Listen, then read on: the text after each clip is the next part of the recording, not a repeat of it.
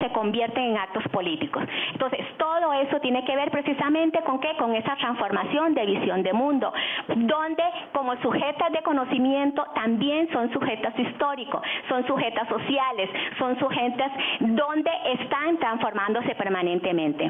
Ahora, en esa construcción de, de ellas como mujeres, cómo esas identidades se transforman también.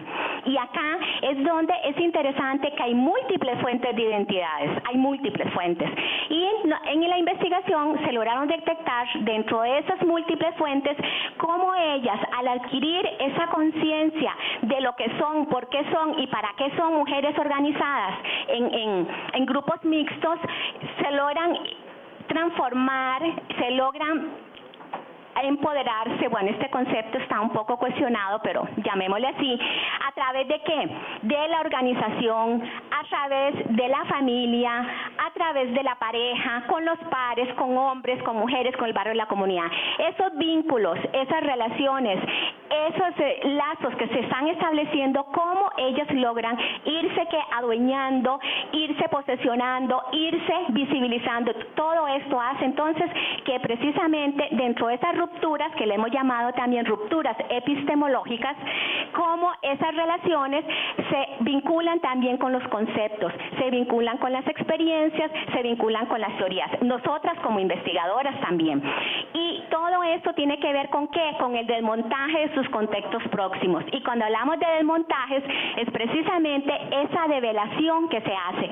Y esos desmontajes, ¿cómo logramos denunciar? Y ellas dicen, ¿qué quieren? ¿Qué necesitan? ¿Qué pueden ser? ¿Cómo y por qué construyen capacidades y potencialidades estas mujeres?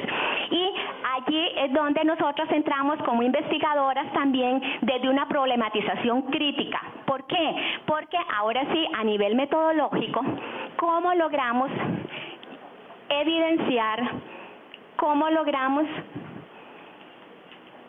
a ver, discúlpeme la tecnología, eh, eso es eh, visibilizar a través de, la, de ese proceso metodológico y esta metáfora que me encanta porque es como ven son son, como le llamamos, líneas uh, ovaladas, son círculos, espirales, gracias, donde bucles, en otro momento les dicen también, donde se trastocan, donde se articulan. Y como ven, está lo cualitativo, lo crítico, la investigación feminista y las técnicas al decir que cómo se articulan, cómo se integran, es, en un todo. Y por eso precisamente esas espirales, eh, la metáfora, porque no están aisladas, no están fragmentadas, no está el conocimiento por acá y las experiencias por allá o esa práctica, sino que en esa articulación precisamente, ¿qué evidencia entre lo cualitativo? ¿Por qué escogimos el enfoque cualitativo? ¿Por qué escogimos eh, el, el, enfoque crítico?